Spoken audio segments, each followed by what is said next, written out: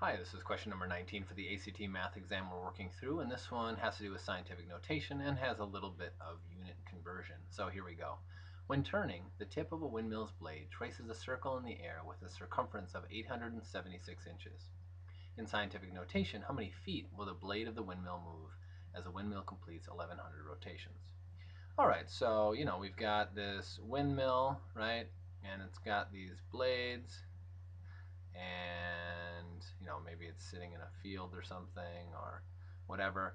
And it is turning, of course, in the wind, and its blades, as they move, I guess any one of them, but it says one of them in the problem, but anyway, as this blade moves, it forms a circle, right? And that circle has a circumference of 876 inches, right?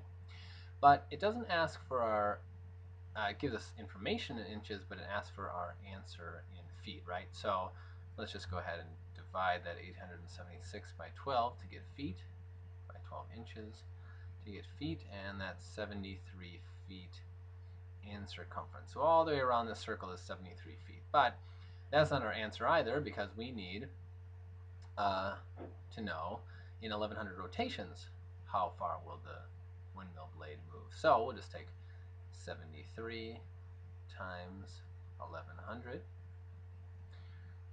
that on the calculator times 1100 and that equals so that equals 80,300 okay? But they want our answer in scientific notation so that is not our answer right? So 80,300 is not our answer so we can eliminate answer A. Alright so how are we going to convert this to scientific notation? Well scientific notation is a way that scientists use and other people use to communicate large numbers uh, in shorthand, so to speak. So when you have when you use scientific notation, you recognize that the decimal of the big number comes, you know, whatever number you're going to start with, the decimal comes at the end of it, of course. So then you move that decimal over as many places as it takes to get it right after the first digit. So our first digit here is 8. So our number will end up being 8.03 times 10 to the something, okay? So the zeros that are at the end here are just eliminated. We don't need to write those into the problem, right?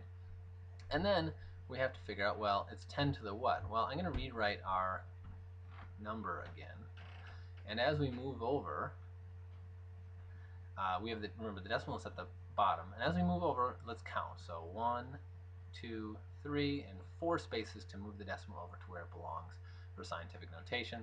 Since we moved it four places, that means that we can just put a 4 there. So it's the answer is 8.03 times 10 to the fourth. So that is answer choice